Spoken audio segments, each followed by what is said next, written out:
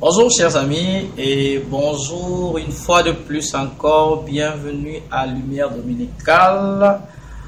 Cette fois-ci, permettez que je commence par quelque chose qui est inédit. Au Cameroun, berceau de nos ancêtres, va debout et jaloux de ta liberté. Comme un soleil, ton drapeau fier doit être un symbole ardent de foi et d'unité. Que tous tes enfants du nord au sud, de l'est à l'ouest soient tout amour, de servir que ce soit leur seul but, pour remplir leur devoir toujours. Chère patrie, terre chérie, tu es notre seul et vrai bonheur, notre joie et notre vie. À toi l'amour et le grand honneur. Tu es la tombe où dorment nos pères, le jardin que nos aïeux ont cultivé. Nous travaillerons pour te rendre prospère. Un beau jour, enfin, nous serons arrivés. Chère patrie, terre chérie, tu es notre seul et vrai bonheur notre joie et notre vie.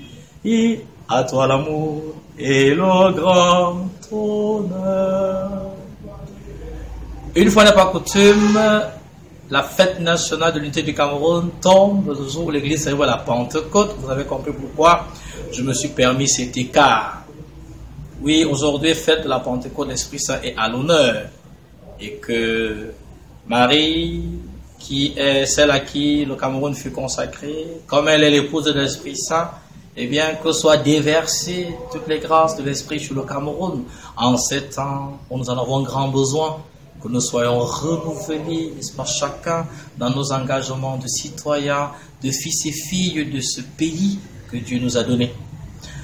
En Église, oui, nous sommes en pleine fête, celle de l'Esprit Saint.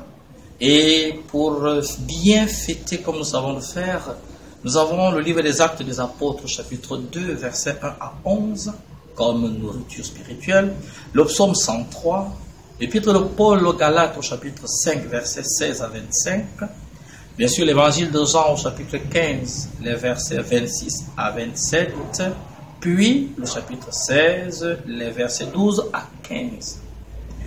Toutes ces lectures font la part belle à l'Esprit Saint. Toutes ces lectures nous rappellent que nous sommes adorateurs ou devons être adorateurs de l'Esprit Saint en esprit et en vérité, en référence à Jean 4, verset 23-24. Aujourd'hui, mon frère, ma soeur, on pourrait s'étendre des heures, oui, pour parler de l'Esprit Saint, mais je voudrais, en lien avec la fête nationale de ce pays qui est le nôtre, nous aider à tirer des conséquences sont importantes pour nos vies.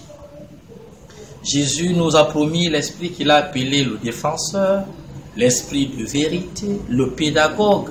Ce ne sont pas que des noms pour amuser la galerie. L'Esprit Saint est le défenseur de toi et de moi pour nous protéger des mensonges du monde, à nous d'identifier ce qui est un danger pour notre vie d'enfant de Dieu. Paul les a nommés les faux docteurs, Jésus les a nommés les faux bergers, les loups qui voudront s'introduire dans la bergerie. Et l'Esprit Saint, de par ses dons, de par sa présence, n'est-ce pas, nous est donné pour pouvoir résister à tout ce qui pourrait être de nature à entraver notre marche vers le royaume des cieux, tout comme la construction du règne des cieux. Le livre des actes et des apôtres en est un brillant exemple. Paul justement va nous dire que pour être véritablement libre, nous devons être sous l'emprise de l'Esprit Saint. Et le verset 22 nous donne les indicateurs que tout homme, hier, aujourd'hui et demain, devra vérifier. Tu veux savoir si l'Esprit Saint habite en toi? Tu veux savoir si l'Esprit Saint est ton compagnon? On n'a pas besoin de gesticulation pour amuser la galerie. Tu prends l'épître de Paul, chapitre 5, verset 22, et tu lis les fluides de l'Esprit Saint au préalable, tu auras lu Isaïe, le prophète, au chapitre 11, les versets 1 à 5, où il donne les dons de l'Esprit. Dans l'Esprit Saint nous défend contre les mensonges du monde selon Saint Jean. Il est l'esprit de vérité. Jésus a dit, la vérité tout entière nous sera révélée. Donc l'Esprit Saint nous aide à mieux connaître Jésus. Jésus a dit, je suis le chemin, la vérité la vie. Encore une fois, contre les mensonges du monde. Il y en a aujourd'hui qui disent que Jésus n'est pas Dieu. Et bien, l'Esprit Saint vient nous dire que c'est faux. Il est le pédagogue, c'est-à-dire l'enseignant. Oui, l'Esprit Saint va nous enseigner ce que Jésus nous a dit. On ne l'oublie pas. Et il va nous enseigner, n'est-ce pas, des choses qui nous permettront de vivre jusqu'à ce que Jésus revienne en enfant de Dieu. Oui, nous sommes héritiers. Oui. Pentecôte, la fête des héritiers. Comme citoyens camerounais, nous héritons de ce beau pays. Et chacun devrait aujourd'hui se demander, qu'est-ce que je fais de l'héritage de mes grands-parents Ce pays qui nous a été donné? Nous devons le construire, nous devons le bâtir ensemble. Tous ceux qui vivent sous ou dans le triangle national, nous avons tous les mêmes droits et les mêmes devoirs. Il n'y a pas qui soit plus camerounais que l'autre, pas du tout. Et c'est là la logique de l'évangile. Dans l'Église et comme enfant de Dieu, nous avons un héritage qu'il faudra justement préserver. Et l'Esprit Saint, mon frère, ma soeur, nous aide à préserver l'héritage de la foi, l'héritage de l'espérance, l'héritage de l'amour. Pape François nous a dit et à dessein, ne nous laissons pas voler notre espérance. Et si tu regardes autour de toi, mon frère, ma soeur, ce n'est pas la chanson qui nous est proposée à longueur de journée. Oui, notre trésor, notre héritage, c'est la foi. Confère ce que Paul demandera à son fils Timothée, parce que lui m'en a fait l'expérience.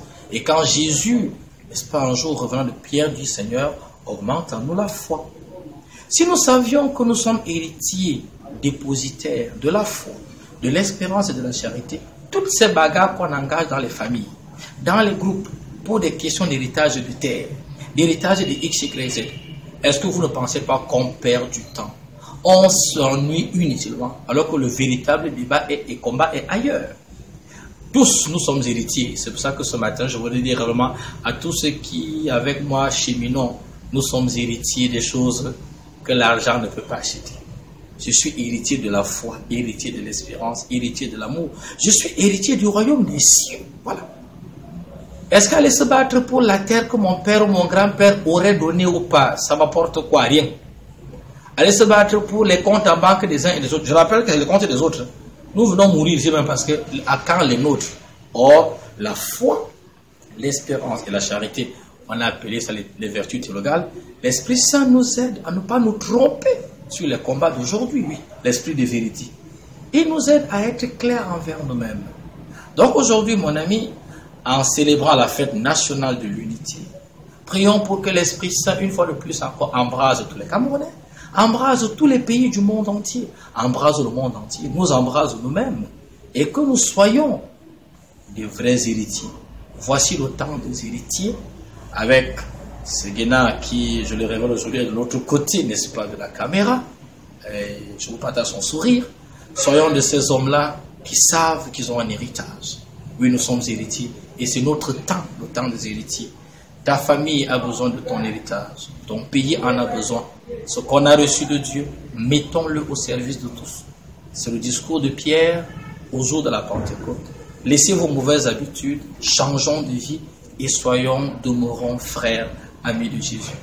Bonne fête de la Pentecôte, bonne fête nationale, mais surtout, mettons-nous au travail pour préserver les acquis de la nation et les acquis de la foi.